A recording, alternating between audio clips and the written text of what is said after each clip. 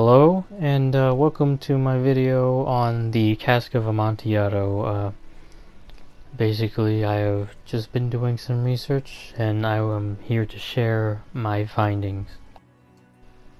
So to begin, I will be stating my thesis for this project, and my thesis is that Gothic literature is a genre which relies on a multitude of aspects to be considered Gothic. These aspects are often mysterious and foreboding.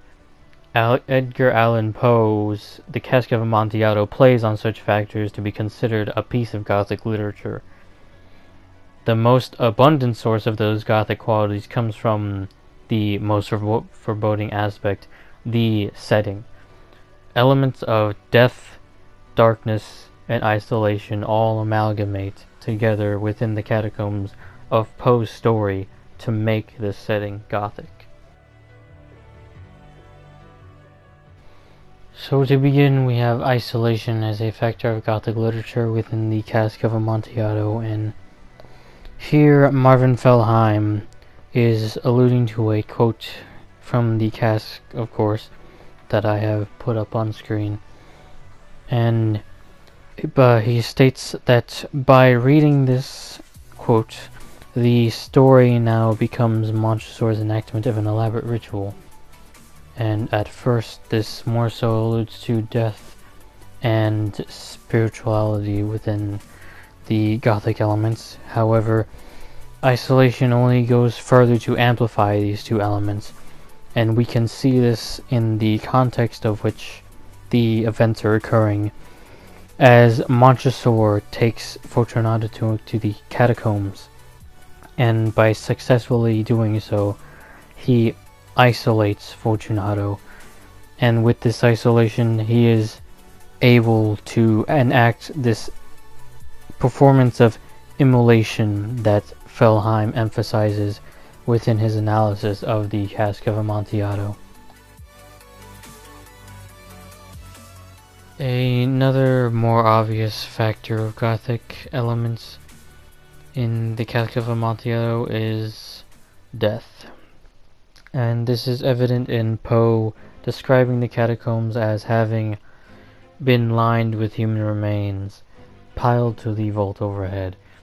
And Kate, also, Kate Stewart also emphasizes this in her saying that because of their association with murder and death, the bones also contribute to Gothicism in this tale which is basically just elaborating upon the obvious that bones just equal death. And you can't get any simpler than that. So lastly we have darkness as an element of gothic literature within the cask. And here James Keish comes to state that the catacombs in Poe's The Cask of Amontillado are the essence of gothic fear, seeing as they are dark, damp, dripping niter everywhere, and they are filled with skeletons and air so foul that torches glow instead of burn. And this uh, statement just is kind of doing my job for me, as it is directly stating that um, there is darkness within the Cask of Amontillado.